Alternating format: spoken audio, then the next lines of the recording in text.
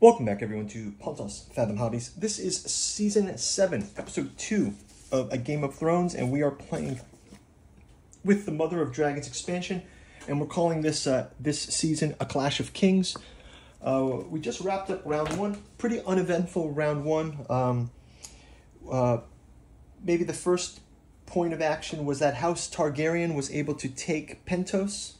Uh, that gives them now a minus one to their um, Iron Bank. And we're going to advance this Iron Bank uh, cards here as well. And I think that's the Iron Bank cards, right? Is that the right cards? Or are these the Iron Bank cards? No, these are the vassal cards here. Okay. And, um, okay, so we'll jump into it. Before we do, quick shout out to this channel sponsor, Pontos Fathom Press. You've got the Genealogy of Cthulhu, Necromancy of Nyarlathotep. We've got a bookstore link down in below. As you guys know, the channel is not yet monetized, so uh, check out the bookstore, can help us out. Um, we've also got a Patreon where you can read uh, digital copies for as little as a dollar, and also you can check out our paint schedules for A Song of Ice and Fire. Uh, we're going to be doing the Greyjoy set next. We just did the Targaryens. I did get a bunch of um, I got a bunch of new minis for A Song of Ice and Fire. Uh, namely, uh, I got the High Garden Pikemen, and I got these Tully Cavaliers that are, that are going to be pretty fun to paint up. Tully Cavaliers. And uh, and I was also a call to call to action here for the channel. If you guys want to leave a comment, like, and subscribe, um, I wanted to um, see if there was any House of the Dragon mods for um, any of the Game of Thrones uh, games that are out there. So, so let's get into it. So I'm going to put the first, we're in round two. I'm going to take the first dragon strength token. So our dragon strength is now one. And um, we're going to jump right into it. Uh, we'll start off with the Westeros phase. So we'll grab our first cards. As you guys know, in round one, Westeros phase gets skipped. So I'm going to go ahead and turn over the Westeros phase as well as the Essos phase. So we have uh, phase one. We've got adjust supply track, reconcile armies. So let's check out the supply track quickly. Um, I did not clean up these from the last round, so let me go clean these up. Just noticed that. So if we take our supply track, um, I think the only people that had advancements was Pentos, was, um, sorry, um, Targaryen. They have an extra castle now. So they can move up to two. And I believe Greyjoy got Seaguard. So Greyjoy can move up to two. And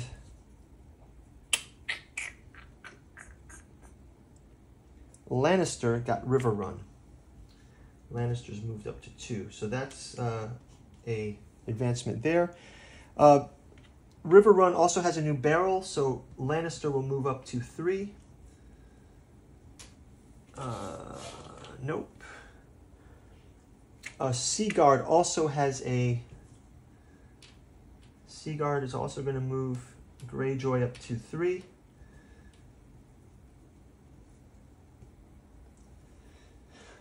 And that's going to do it. That's just about going to do it. Oh, and also Kingswood moves our Baratheons up to three. So let's go from there. So we've adjusted the supplies. Let's go to the next one.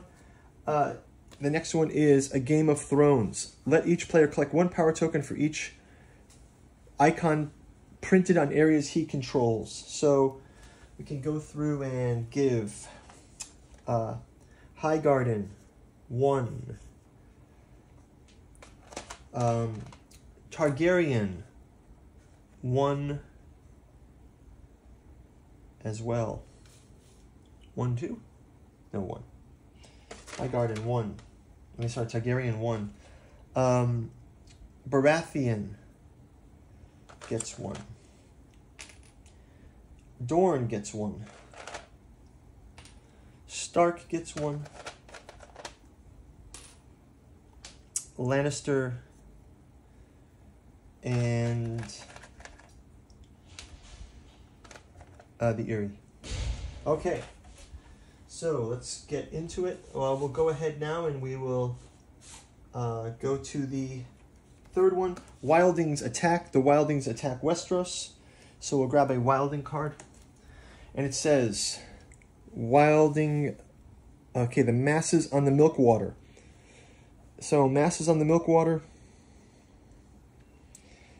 Lowest bidder, if he has more than one house card in his hand, he discards uh, all cards with the highest combat strength.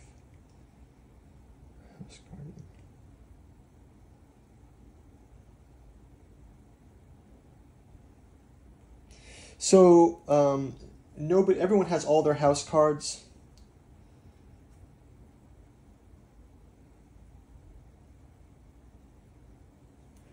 And uh, we'll just kind of randomly decide who has to discard some cards. We'll just do it. Let's, I'll just do a die roll. Uh, I'm going to get a die. Premium die eight here.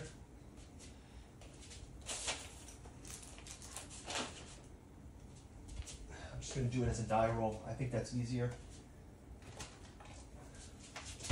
We've got eight players. I'm not going to do the bidding because it's just, as a solo player, it's too much. So I'm going to go in this dice bag and uh, we get a die eight. There we go, it's an eight-sided die. Okay, so let's go ahead and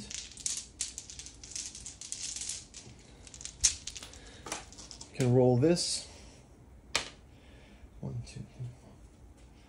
Uh, we're going to give Martell, going to discard a card, and they're going to have to discard Areo Hotah. So Areo Hotah goes into the discard. Uh, we'll reset the Wilding deck. And that's going to, oops, that's going to do it for our Wilding attack. Let's go to uh, the next card is the Essos phase. Essos phase, we've got um, playing with fire. The Targaryen player may discard one power token to choose one uncontrolled land area and one other player. Place one loyalty token and one unit from the chosen player of their choice in the chosen area. Okay, so we get a Targaryen ally token placed somewhere. We're going to spend a power token. So we're going to spend a power token. We're going to get a Targaryen token. So we send this one back. And we'll place this one on... Uh, let's place it on Storm's End. Why not we place it on Storm's End? We're going to place it on Storm's End. And we'll put a Baratheon a piece on there. We're going to give the Baratheons, they get the chance to put a piece on this one. So we're actually increasing the Baratheon army, but we have it loyalty to that. And then we also get to um, we also get to put River Run in the Arbor. We get to put some tokens on. So we so on Riverrun and on the Arbor, we also have Targaryen loyalty tokens show up there. So that's going to be the Essos phase. Uh, let's go into our planning phase. So we'll first off we'll go to we'll go just go one by one. And we'll start off with Baratheon.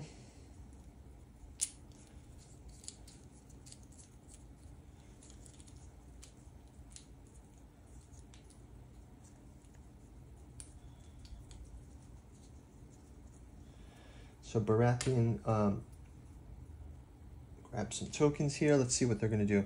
Uh, so I'm going to continue that motion that I was going to do last time. Uh, I'm going to give a support to this, all right, and a this one.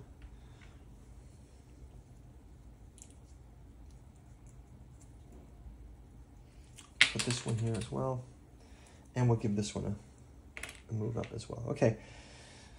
So that'll be Baratheon. Next up is uh, Lannister.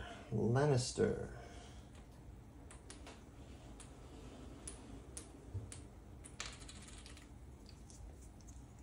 Lannister is going to go ahead and place a token. uh, token, a token, and a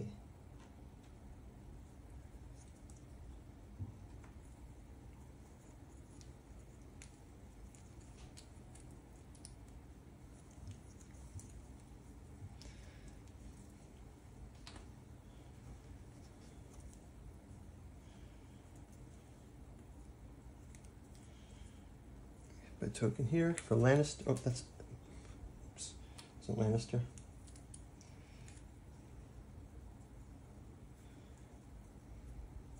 Okay, Lannister. Okay, let's go over to. Next up is Stark. So Stark, uh, they they have Winterfell, White House, Storming Sea. Let's go ahead and give them a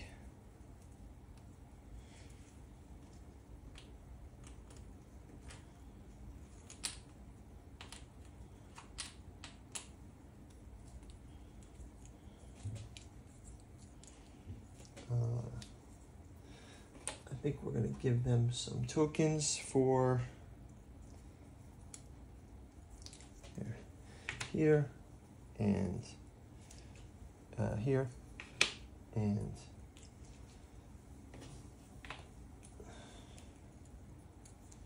here. Okay, so next up after Stark, we're going to go to House Martell, the Dornish. Dorne will go with a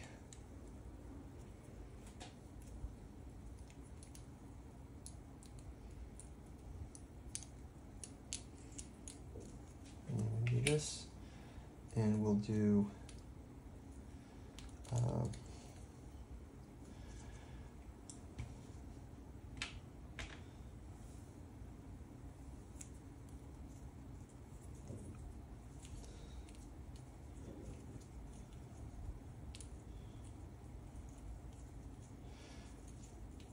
It's um, looking for the token for the March orders. Okay, and finally uh, this one. Okay, so Dorne is set. They've got uh, from Sunspear and the Salt Shores, as well as the East Summer Sea. Next up is Greyjoy. Greyjoy, we will give them a another one of these. We'll also give them a this and a this. Okay, so that's Greyjoy. Next up, we have Hightower.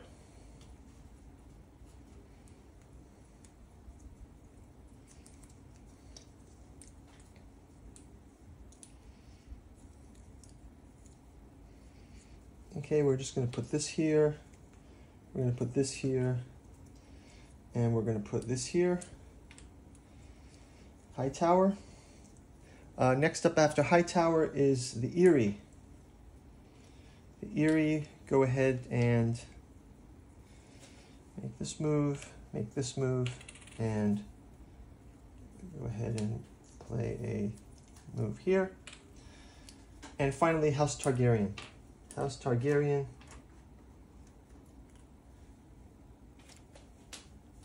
House Targaryen will go with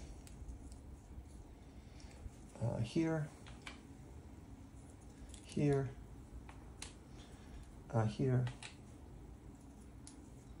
here, and here. And that's going to do it. So let's do our reveal phase. Uh, we've got reveals.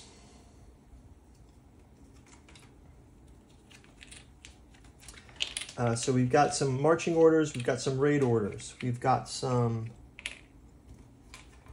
uh, reinforcements, some marching orders, some uh, consolidate power tokens.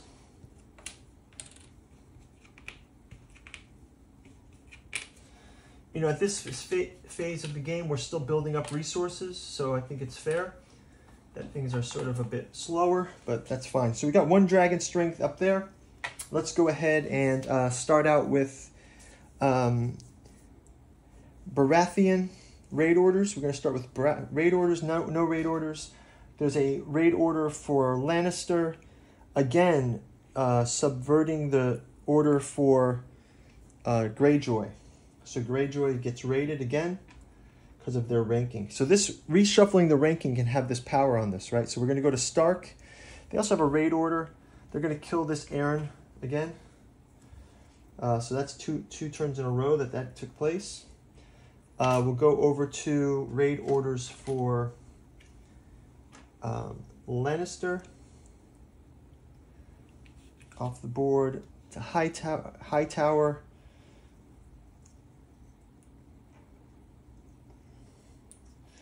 And Dorne is going to do the raid order on the uh, Shipbreaker Bay against the Baratheons. And finally, uh, Bay of Pentos will get to raid this, I believe, so that's going to take that out. Uh, so they've taken their ability to collect on their um, tokens. Okay, so let's go into the march orders. Back to the top of the line, we'll do a march order to, from Storm's End, and then we'll do a march order into King's Landing for three, four, five, six. So um, Baratheons are able to take King's Landing, and we'll put a token there for that. Uh, take that order out. So Baratheons are now in King's Landing. Uh, the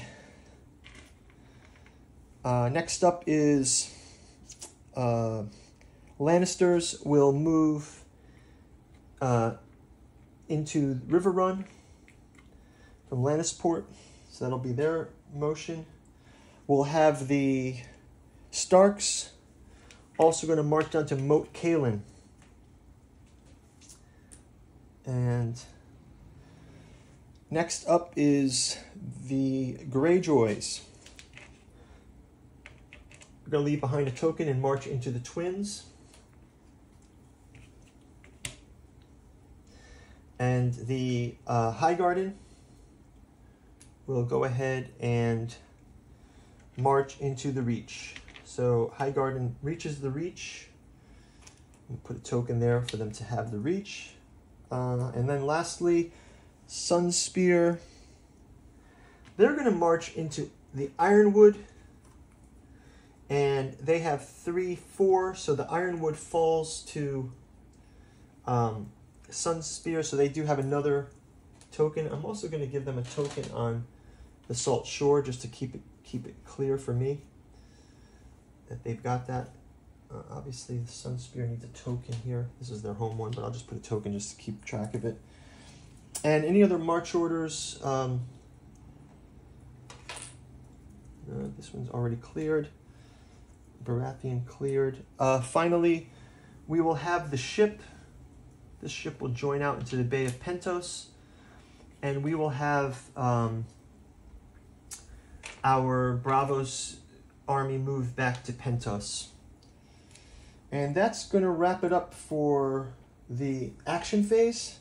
Uh, we've got some consolidate powers, so we'll give a token to uh, Greyjoy. And we'll give a token to the Eyrie. Oh, and actually, the Eyrie, they're going to move. Sorry, I forgot. They were going to move to the Mountains of the Moon. And they also get their consolidate power token. And anyone else? Anyone else? Anyone? Anyone? Uh, Stark. Stark gets a consolidate power. That's going to wrap it up for round number two. I will move the token into round number three. We'll see you in the next round. Thank you guys for watching. Bye bye.